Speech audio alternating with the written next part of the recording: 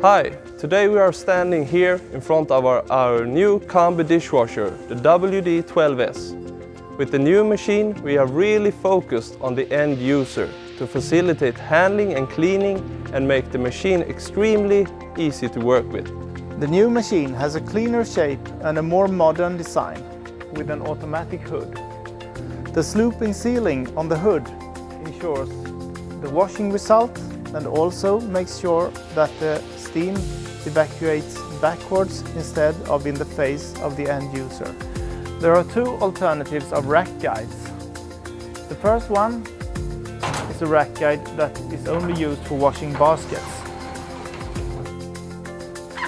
The other one is a combined rack guide. If you want to, to wash a pot, just put it on the grid. And if you want to wash canteens, for example, then you can choose to unfold some grid sections.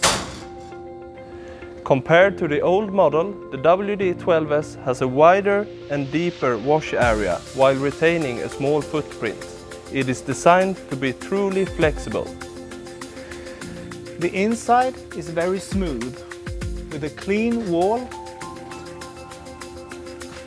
and the tank is centrally placed with only one strainer to clean.